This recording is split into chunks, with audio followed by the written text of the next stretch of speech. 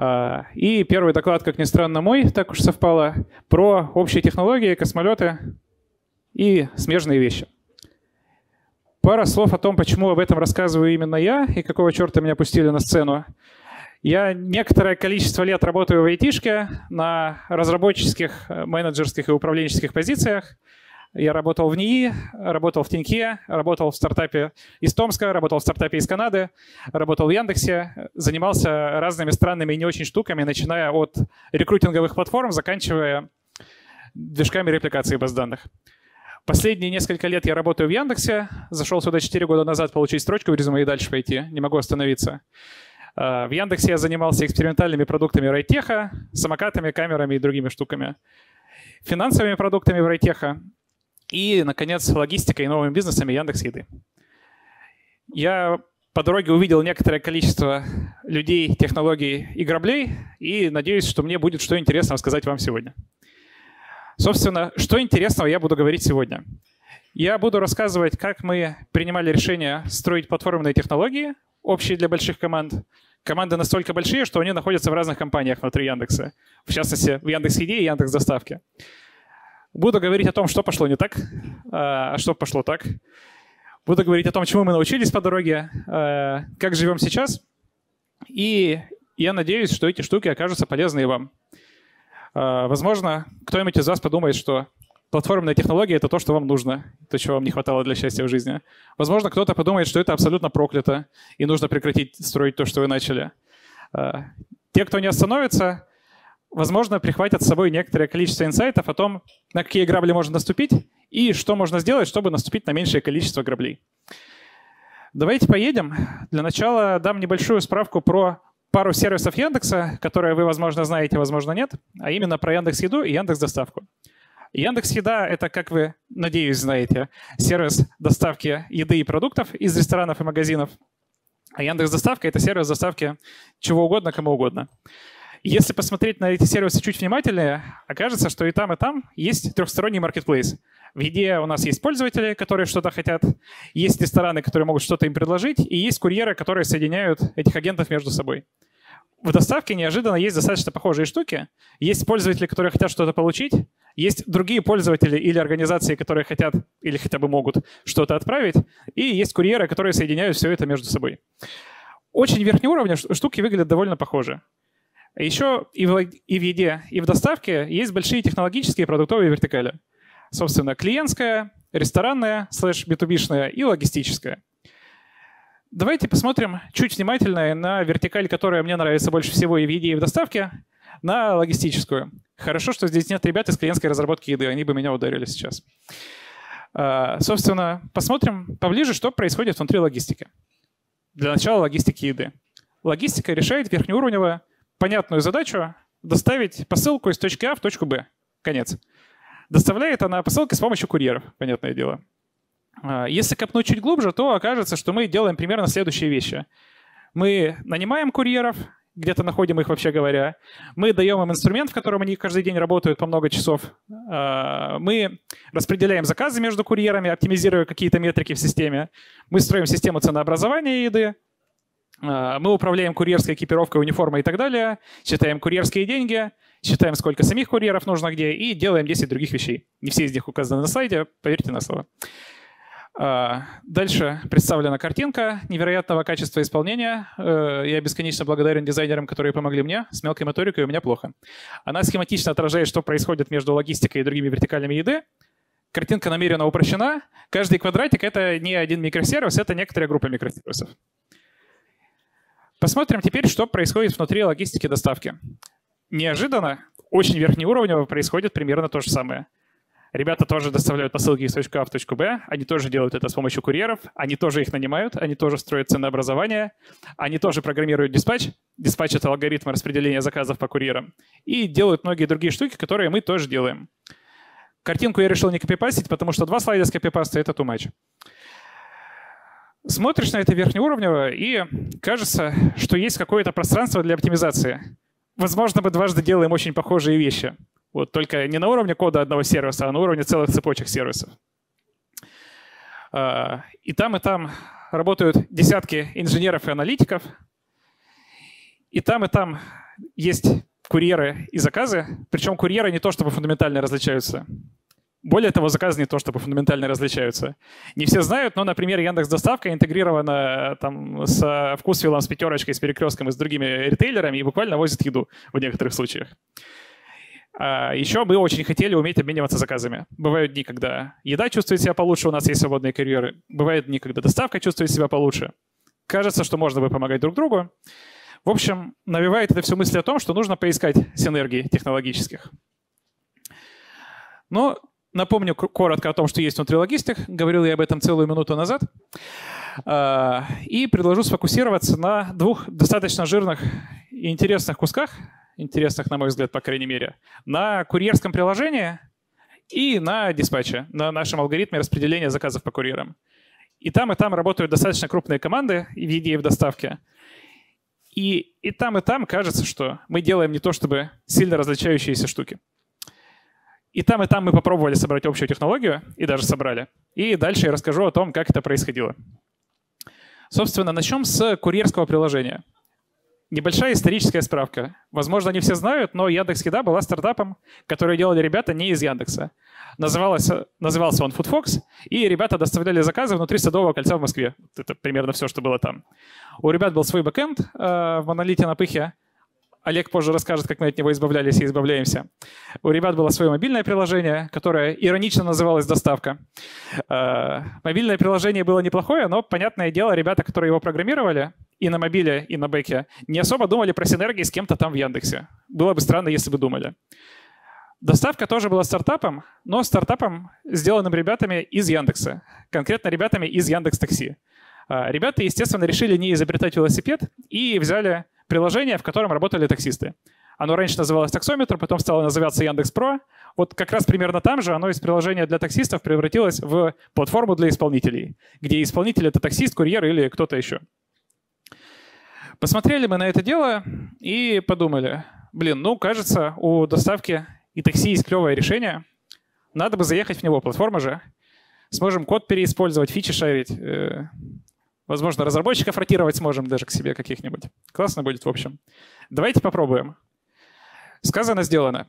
Можно отдельно долго рассказывать, как конкретно происходила миграция, тема для отдельного доклада. Но поверьте, что она произошла.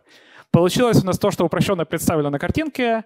Правда, есть некоторое мобильное приложение, в котором есть набор общих модулей, которые выполняют низкоуровневые функции, типа рисуют карту или доставляют пуши о важных событиях или э, показывают маршрут по этой карте.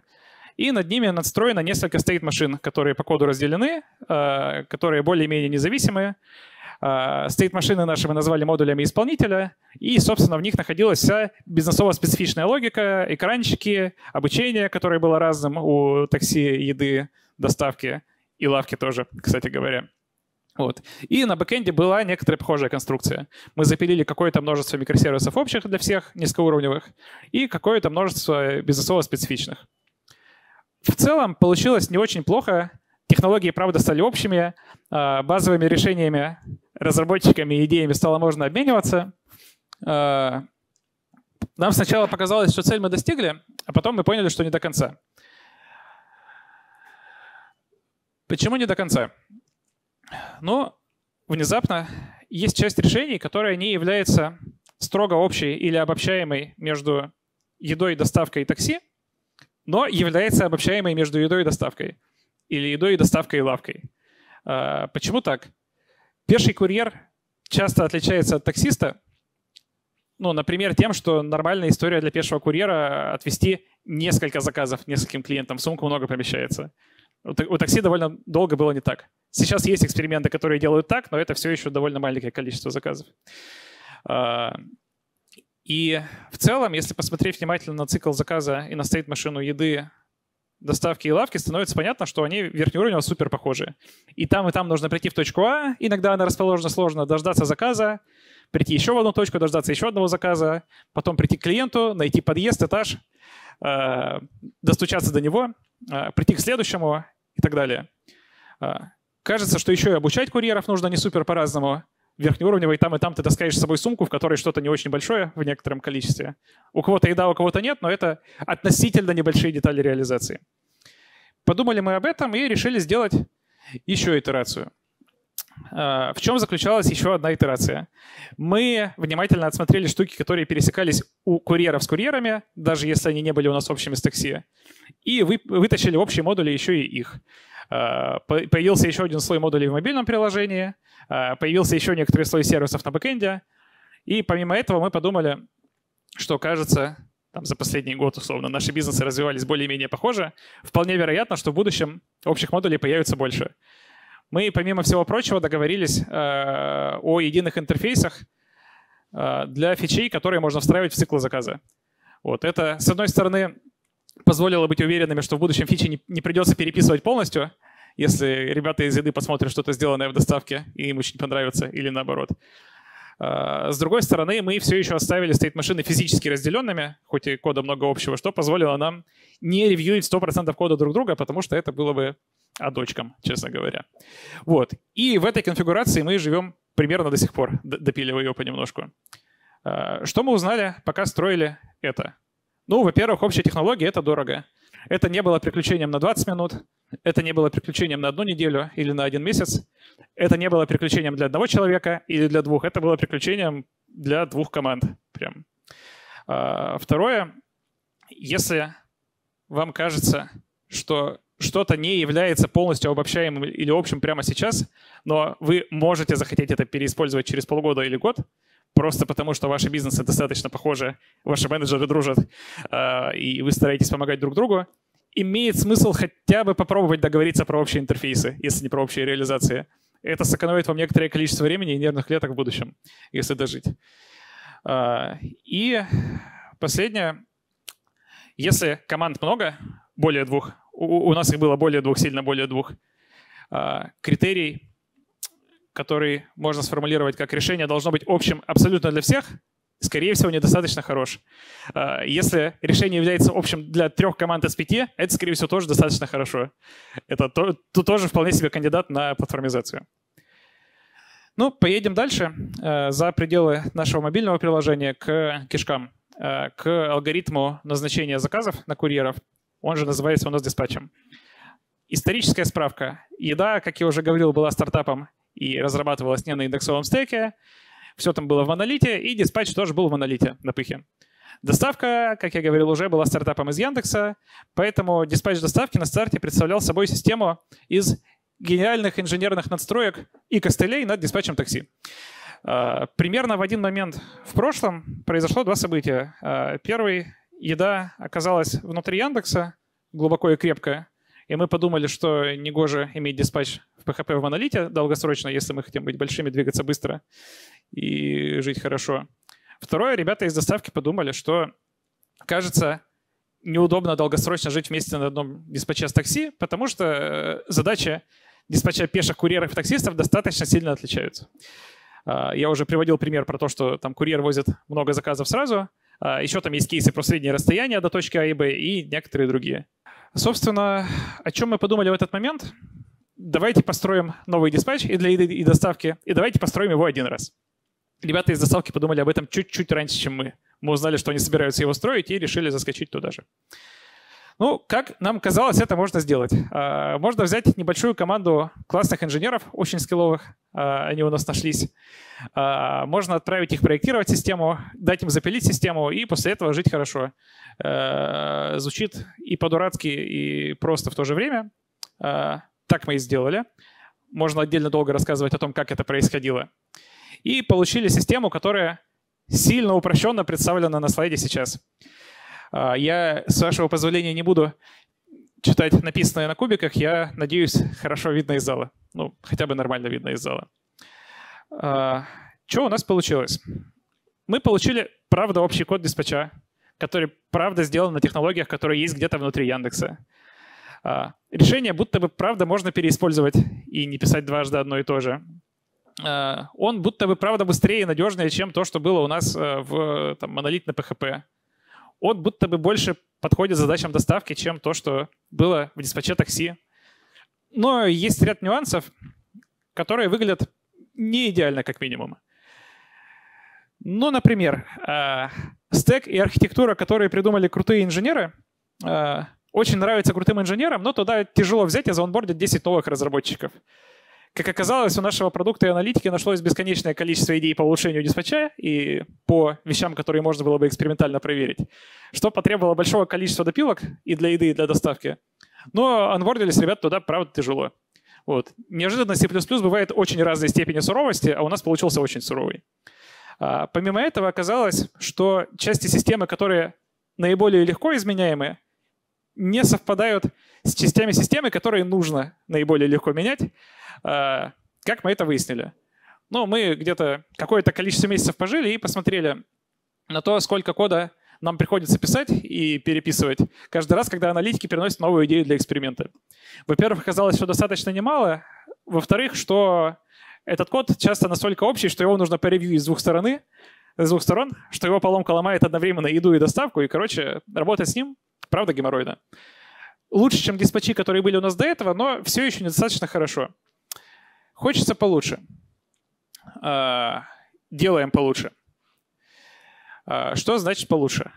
Ну, во-первых, мы немножко поменяли стек. А, спойлер, внутри Яндекса есть несколько разных плюсовых фреймворков. Мы выбрали другой, тот, на котором писали больше разработчиков и идей доставки, чем на первоначально выбранном нами, и в который еще и вкатываться было сильно проще. А, во-вторых, мы поняли, что нам не нужно делать общим абсолютно весь код.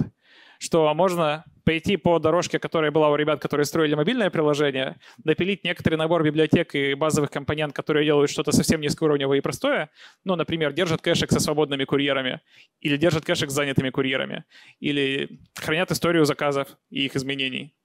А над ним надстроить несколько модулей, которые ребята из каждого бизнес-юнита будут поддерживать и развивать самостоятельно, деплоить физически раздельно и жить чуть-чуть попроще. А, в-третьих, мы на архитектурной сессии позвали аналитиков и продуктов, э, чтобы можно было выровнять разработчиков относительно вещей, которые должны быть легко изменяемы и должны быть гибкими. Даже если это нужно побольше инвестировать на старте, было очевидно, что это окупится. Собрали мы некоторую штуку, похожую на то, что нарисовано у меня за спиной. Есть у нас большой эпический диспатч, внутри которого есть общие модули с базовой логикой. Рядом с ними есть еще технология под названием JS Pipeline. Есть клевая статья на Хабре про нее. Она позволяет внутри плюсового рантайма исполнять JavaScript код. Мы втащили ее, чтобы дать возможность аналитикам гонять эксперименты, не привлекая разработку вообще. Есть отдельная админка, в которой можно покрутить э, алгоритм скоринга ребер в нашем графе, который строится алгоритмом диспатча, и посмотреть, что происходит. И над всем этим безобразием мы надстроили некоторое количество state machine слэш модулей, э, которые реализуют логику специфичную для еды, для доставки, для лавки и так далее. А, что, что важно, модули деплоятся физически раздельно. То есть мы, насколько можем, снижаем вероятность того, что разработчик из одной компании кладет продакшн сразу всем во время своего релиза. А, уже получилось сильно лучше, чем было до этого. Менять код стало сильно проще, разработчики стали вкатываться быстрее, экспериментов единицу времени мы стали проводить больше. Кстати, позже скажу, сколько точно. Но, посмотрев на это еще какое-то количество месяцев, мы поняли, что это все еще недостаточно хорошо. Что недостаточно хорошо? А, как я уже упоминал, а, наши бизнесы и продукты достаточно сильно дружат друг с другом. А, мы обмениваемся курьерами и заказами время от времени, мы решаем похожие сценарии, и из этого следует, что на самом деле внутри коробочек модуля еды и модуля доставки через какое-то количество месяцев было решено некоторое количество, по сути, одинаковых задач. Но решено было по-разному, потому что код коробочек друг у друга мы не ревьюили. Хотелось двигаться быстрее, и это мы не предусмотрели. А, кажется, можно пообщать еще больше. Э, давайте попробуем. Хватаем модуль и внимательно смотрим на то, что внутри него. Внезапно оказывается, что каждый модуль можно представить как граф зависимости или задач примерно одного и того же вида для еды и доставки. Мы некоторое время поштормили над этим, договорились про то, что должно происходить в верхнем уровне внутри каждого юнита. Все, что можно было вынести в общие либо, включая сам базовый цикл заказа внутри модуля, мы вынесли. И, как и в Pro, договорились про то, чтобы штуки в будущем делать с единообразными интерфейсами. Чтобы их можно было, если переписывать, то хотя бы не полностью, чтобы втаскивать друг к другу. И с тех пор мы живем так, нам кажется, что вот это уже не очень плохо, то, что получилось сейчас. А, у вас мог возникнуть вопрос, пока я разглагольствовал про мобильные приложения и бэкэнды. есть ли вообще какая-то польза для бизнеса от того, что вы всей этой дрянью занимаетесь? Или вы просто вундервафлю собрали, пошопали друг друга по плечу и пошли дальше? Кажется, что есть. А, я привел здесь метрики операционные, логистические, едовые за последний приблизительно год. А, тут нет абсолютных цифр в штуках, заказах, но есть метрики, которые более-менее говорят про рост эффективности сервиса. Ну, например, у нас процентов на 30 или больше вырос OPH. Э, OPH — это, упрощенно говоря, количество заказов, которые один курьер может доставить за час. Uh, у нас uh, значительно выросла доля бачей. Бач — это сценарий, при котором один курьер берет несколько заказов и более-менее успешно доставляет их клиентам.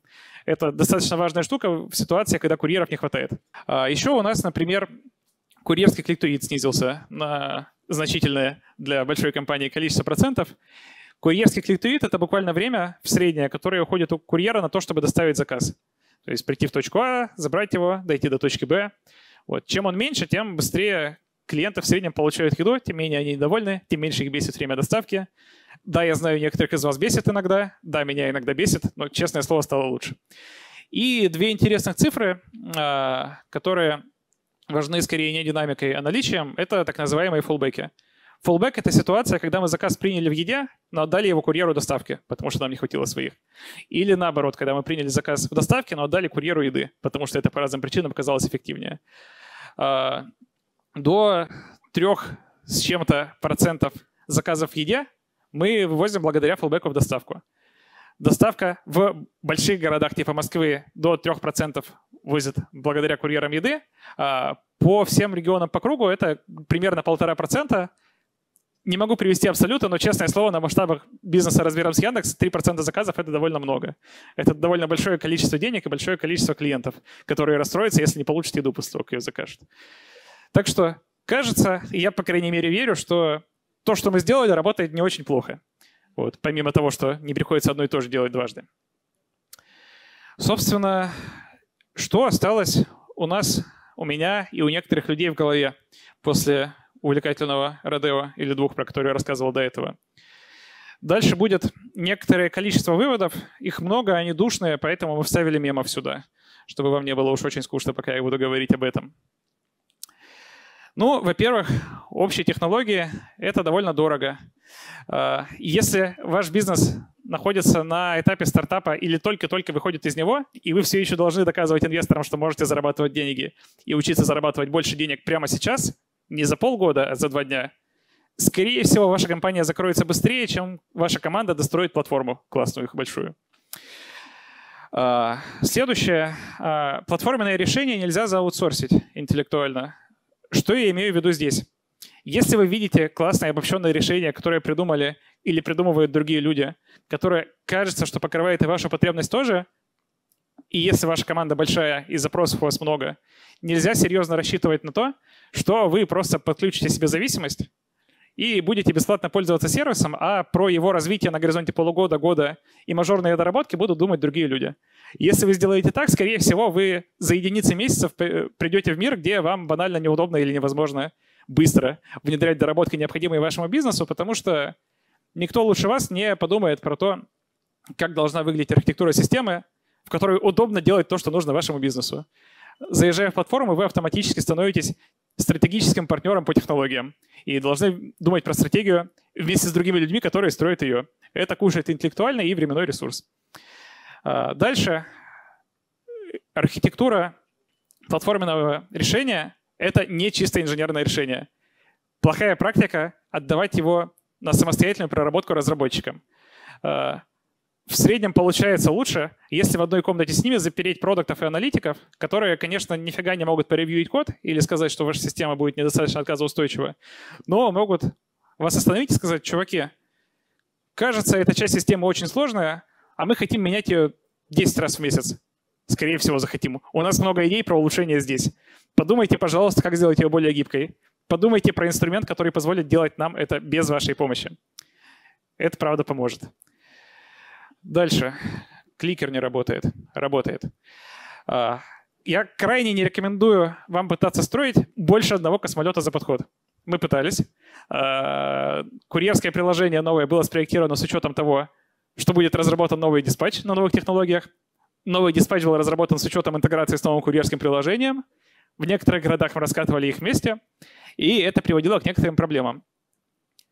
Проблема следующая. Понятно, что если система совсем не работает, то довольно легко понять, более-менее легко, почему так.